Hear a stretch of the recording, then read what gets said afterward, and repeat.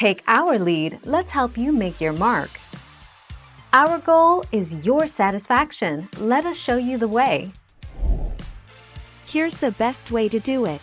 Start with overripe, spotty bananas, they have much more flavor. Peel all of the bananas. Slice them into 1 to 2 inch chunks. Arrange them in a single layer on a parchment, or wax paper, lined rimmed sheet pan.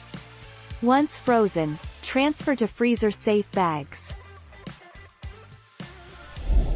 Thank you for watching. Please subscribe and hit the bell notification.